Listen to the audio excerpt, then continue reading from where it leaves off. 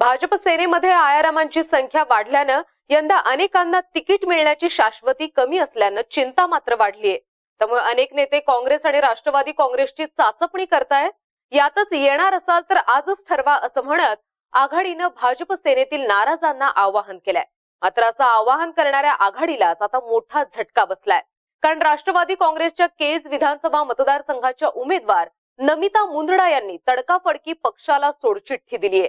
त्यांनी महिला आणि बालकल्याण मंत्री पंकजा मुंडे यांच्या उपस्थितीत आज भाजपमध्ये प्रवेश केला आहे ईडीचा फेरा आणि अजित पवार यांच्या राजीनामा नाट्यानंतर पुन्हा नव्या जोमानं निवडणुकीच्या तयारीला लागलेल्या राष्ट्रवादी काँग्रेसला आणखी एक धक्का बसलाय.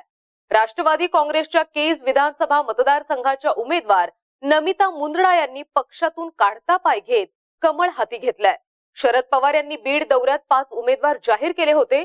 त्यामध्ये नमिता मुंदडा यांचं नाव होतं. मात्र पंकजा मुंडे यांनी राष्ट्रवादीवर टीका करताना उमेदवार फुटण्याच्या भीतीनं राष्ट्रवादीनं बीड मधील उमेदवार जाहीर केल्याचा आरोप केला होता. पंकजांचा हा आरोप आता खरा झालाय. दरम्यान नमिता मुंदडा यांनी काही दिवसांपूर्वी एक फेसबुक पोस्ट केली होती. या फेसबुक पोस्ट मधून नमिता यांनी आगामी विधानसभा निवडणूक लढवणार असल्याचे संकेत दिले होते. मात्र यावर राष्ट्रवादीचं चिन्ह आणि शरद पवारांचा फोटो नव्हता.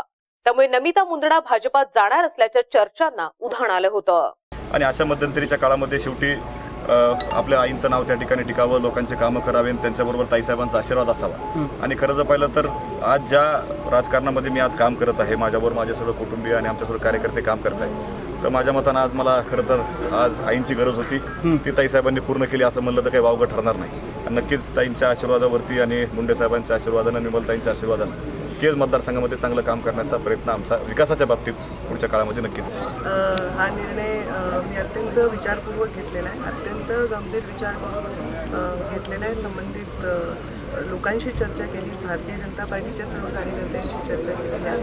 अ, समर्पण संघटन आणि सर्वे हे. तीन विषय समोर ठेवून आपली उमेदवारी ठरवावी अशा प्रकारचा आमच्या राष्ट्रीय अध्यक्षांनी आम्हाला सांगितलेला आहे. आणि या सगळ्या विषयाचा विचार मी केल्यानंतर मला असं वाटलं की काही लोक जे आहेत जे मुळात म्हणजे ज्यांची मूळ सुरुवात जी आमच्यापासून झाली आहे ते मुळाकडे परत आले पाहिजे.